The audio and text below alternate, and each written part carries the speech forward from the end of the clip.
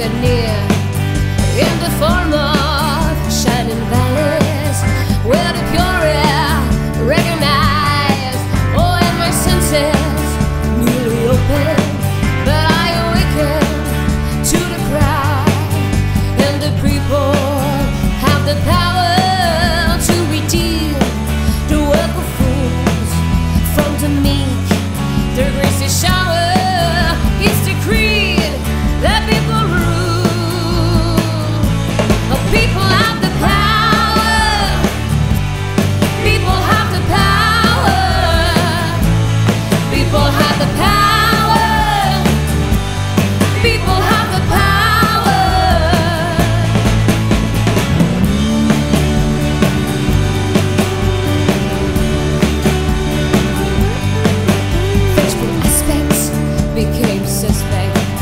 bending low as if to hear.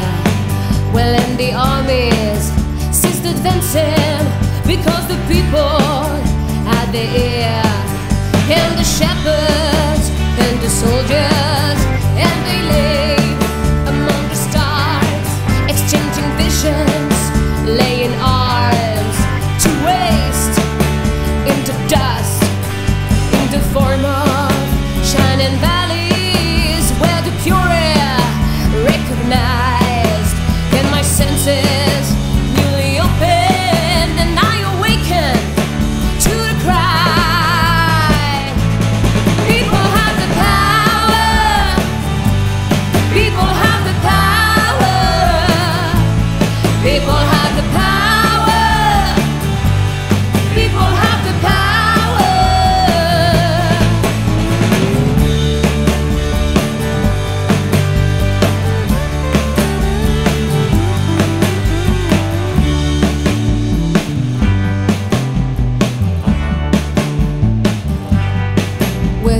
Deserts, I saw fountains like cream.